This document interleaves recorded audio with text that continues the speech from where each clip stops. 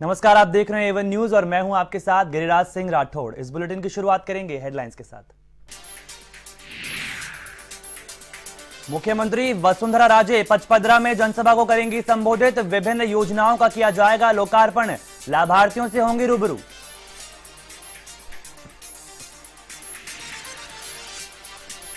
दौसा के पास दर्दनाक हादसा।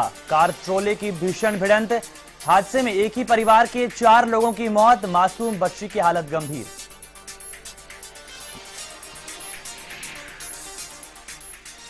श्रीगंगानगर के श्री करणपुर अंतर्राष्ट्रीय बॉर्डर पर 20 किलो हेरोइन की तस्करी का मामला। बीएसएफ ने वारदात को किया नाकाम। तीन आरोपियों को दबोचा। कई महत्वपूर्ण दस्तावेज़ बरामद। फतेहपुर, शेखावती में कावड़ियों पर हुए हमले का मामला, बिसाऊ सहित सीकर चूरू ज़िले के कई कस्बे बंद, पुलिस की कार्यशैली पर उठाए गए सवाल।